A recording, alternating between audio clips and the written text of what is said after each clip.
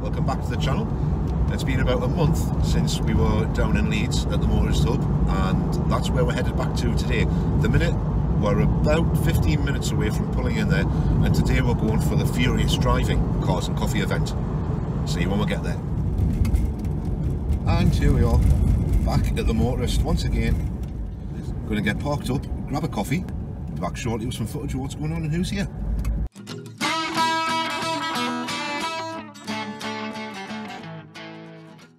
Well, here we are, back at the Motorist, and where better to start than the Motorist's very own Ford Transit. It's absolutely lovely, this Ford Transit. It's been fully restored. I don't think it was done by the Motorists themselves. It's uh, all registration, decorated up as the Motorist's own promotional vehicle. And did a little bit of a film of this the last time we were down here. But what a wonderful thing. If only you could still buy them in this condition.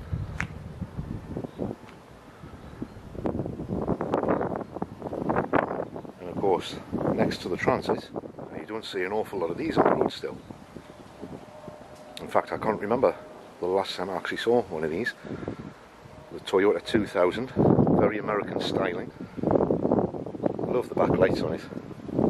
Somewhat ruined by the additional fog lamp, however, 1973 registration and still on the road. Automatic as well. Not an awful lot to complain about in this car.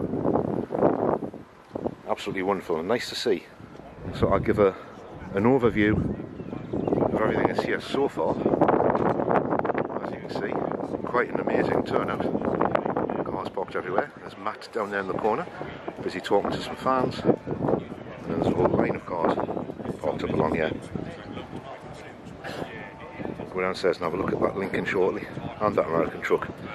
And I do see over there, if you can see it, just Chevy C10 I found. I really do like this. Now if you don't know, if you've never seen one before over here in the UK, this is 76, 77, 78 Chevy C10, otherwise known as a Chevy square body. It is a pickup truck, it's a short bed, as you can tell, because it's got a short bed on it lovely 8-spoke wheels, or a version of 8-spoke wheels, and that lovely big rollover bar on the back, which does look as though, yes, it has the bracketry to put spotlights on. Now, is that a barbecue in the bed or a smoker? Ideally placed that.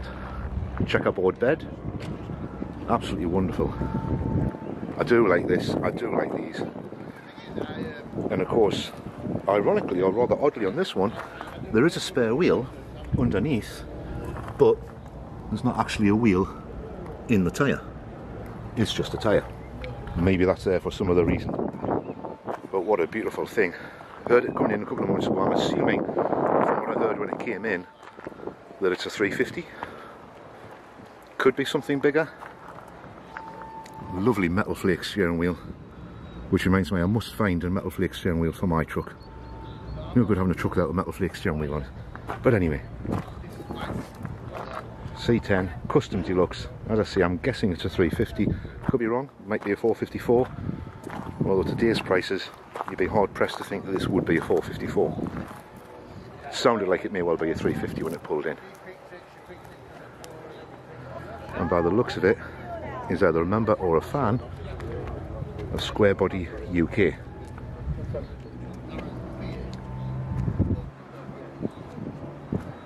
That would make a nice daily driver. Not exactly sure what colour it is. Looks like dark burgundy metallic. Not well up on the colour cards for Chevys. 17 plate though. What a lovely looking thing. I'm sure nobody can complain if that pulled up outside the house. Depending on where you live of course. Tan leather seats, the black interior and stick shift as well the ultimate fun vehicle moving further along we have this delightful Nissan Micra now I think this is the one that was here the last time I was here about a month ago for the hub Hubnut social if I'm right it's currently got 38,000 miles on this from new. Thing. It's been, certainly been well looked after with no visible signs of rust anywhere, which is absolutely fantastic. And that's parked next to a rather modern Fiat 500 Abarth, which I'm led to believe can be quite nippy. Yeah, the gas. This lovely 1968, maybe 69 Morris Minor. Appears to be on, I don't know if they're real MP8 spokes or a replica of an MP, uh, MP8 spoke. Lovely interior. Extra gauges on the dashboard there in front of the driver. Of course, it's got the uh, suitcase rack, the luggage rack on the back of it there. A little bit of damage to the bottom of the boot lid, but nothing to be worried about in this day and age. It's under restoration, possibly with the replacement bonnet and wing on the front there. What a nice looking car, though. And of course, I don't know what's under the engine. The extra gauges on the dashboard would hint that it's not stock under there. And then once again, the last time we're here for the uh, the Hubnut Social. The Subaru Legacy was here at the same time. I do like these. I do. The last time I was here, I'm sure I found out it was the two and a half litre though, not the three litre. Obviously, if you're going to have one, you have the biggest you can find. They are a lovely car though. And next to that, we have the all-important Subaru Impreza. To have a brace of Subarus together. It's a Subaru Impreza wagon. Bit of lacquer peel on the bonnet. But the main attraction of this one, for me at least, is the fact that it's a wagon.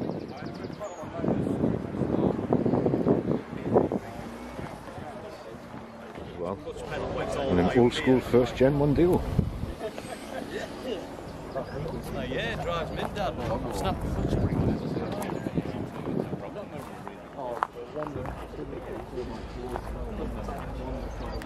A little bit of lacquer peel on the bonnet. To be expected, I suppose, now. K plate. And I'm stood next to a Morris Marina 1.8 TC, which I believe stands for twin cam. Oh, and it's an automatic. Old school Morris Marina there. Red inserts on the door cards and the seats. Some lovely fluffy seat covers. What a nice car. And of course the surprising thing about this Marina being here today is so far there's not a piano on the roof.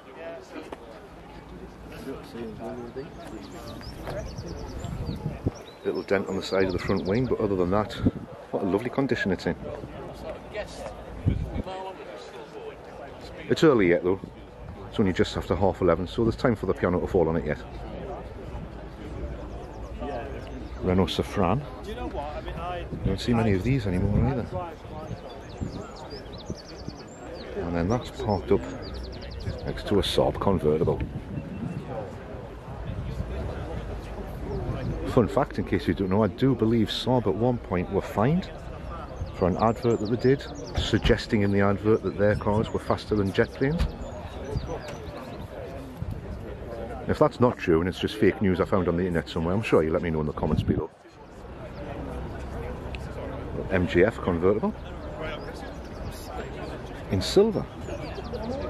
I'm used to seeing these in like British Racing green, not in silver.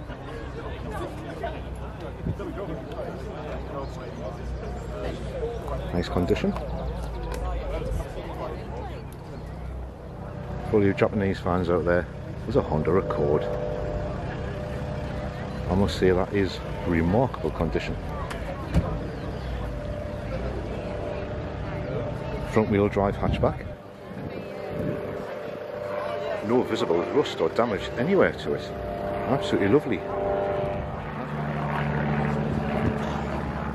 Honda Accord. And of course with it being an auto, it's a Honda Matic. Because I can't resist another look at that monkey. There it is. Do like that Morris Minor lovely Honda Prelude in black. I still can't pronounce that properly. Is it Prelude? Prelude? Anyway, it's a Honda. But it's really nice. I do like those. And of course, it looks even better parked alongside the Accord. I've got a Fiat. Some classic Mini. Liveried up like a Rally Mini.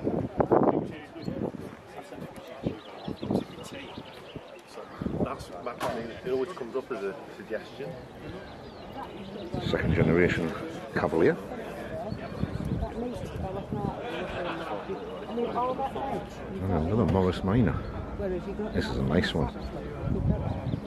Again with Minilite style wheels. I'm saying Minilite style because obviously I'm not 100% certain as to whether they are genuine Minilites or just aftermarket replicas. But this is a nice condition. Morris Minor, lovely interior, all original, no modifications as far as I can see. Well, that is nice. That is very nice. My chariot of choice for today.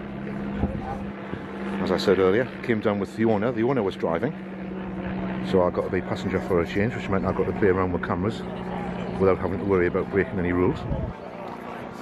And then parked next to us is a Citroën Cactus. Now this particular Citroën Cactus, depending on what channels you watch and what you don't watch, this one is owned by Scottish car enthusiasts. If that'll show up on camera. I don't think it's going to show up on camera. There is a sticker on the bonnet saying Scottish car enthusiasts though. And depending if you do watch his channel, you'll have seen the video where he's putting the alloy wheels on instead of the poverty spec wheels with the wheel trims was on. It's a Mazda RX, RX-8 I believe they are, RX-7, RX-8. Always nice and black. Everything looks better in black. Yeah, it's the RX-8, of course it is. Do like them. Even though they've got the Wankel engine in. And then again, you can't really come to a Furious driving event without having a Volvo. Volvo 740. And again, another automatic. Always nice to see the old things being left on the road. What a lovely looking thing that is.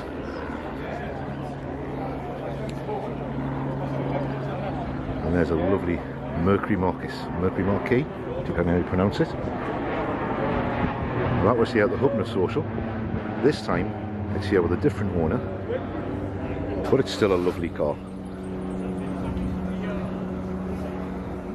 You see they've been here on both occasions. There's Furious driving hat, if you can see it there, and a Hubnut hat as well. And next to that, maybe the Alfa Romeo. And again, if you watch some channels, depending which ones you watch, Mark on Motors Yellow Megane.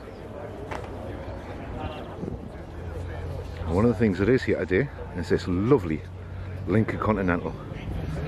Now this one I believe is a Diamond Jubilee edition. So sumptuous, so luxurious. I think that's called a half padded roof or a quarter padded roof. Obviously the portholes in the back that do indicate it is indeed Diamond Jubilee edition fake spare wheel hump on the back is upholstered in exactly the same material as the roof is. Wonderful condition. What a lovely car. Two door, not available in four doors. The size of the doors. What's the biggest thing is under the bonnet. The size of the space under the bonnet. And yet it's not all filled with engine. The engine stops about two thirds of the space under the bonnet and then it's fan, radiator and a load of dead space in front of the radiator between that and the grille on the front of the car. Truly is a lovely car. And of course the headlamp covers, which I believe on this would be maybe vacuum operated. So we can have a quick look inside and see if we can see if they are.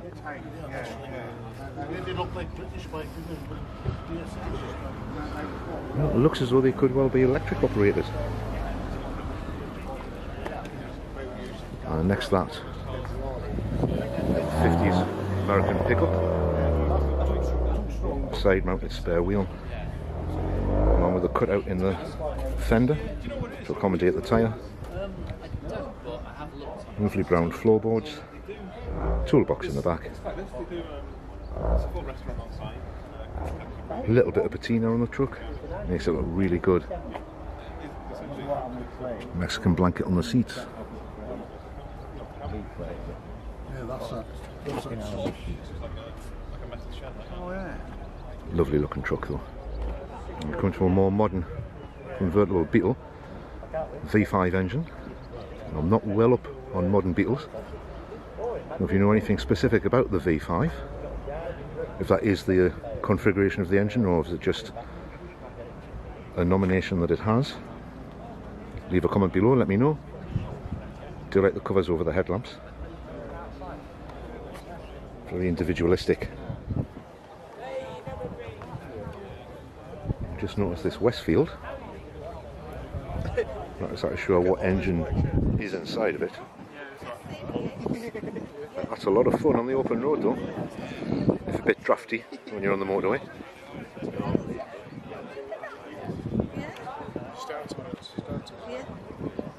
Lovely old Mini that's currently playing havoc with the camera because of the sunlight. Mine, mine The sun really is playing havoc with it. Full length Webasto oh, sunroof. traffic gate as, as well. No. Lovely original interior in there. Polished wood on the dashboard. Morris Minors, wasn't? Yeah. Oh, yeah, that one And these, these Well, this one's that aged. It's not actually a Mini, it's a Mini Minor. One of the very early ones. As such, there's only floor mats. The floor isn't fully carpeted. Nice wooden steering wheel. It's just a shame the sun's playing havoc with the car, unfortunately. Right, For those of you that haven't been here before and you're looking to come down here at some point, as you can see, the body shop's down there in the distance. That's the garage reception, garage behind it. That there's entrance, one of the entrances into the diner. And then over there, there's the bar downstairs, function rooms upstairs with the outdoor balcony. Really is a wonderful place.